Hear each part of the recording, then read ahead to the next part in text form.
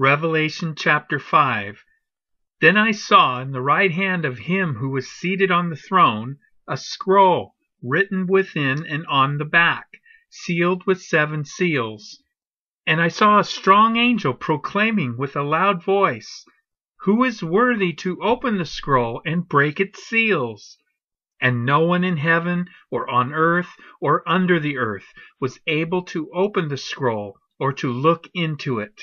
And I began to weep loudly, because no one was found worthy to open the scroll or to look into it.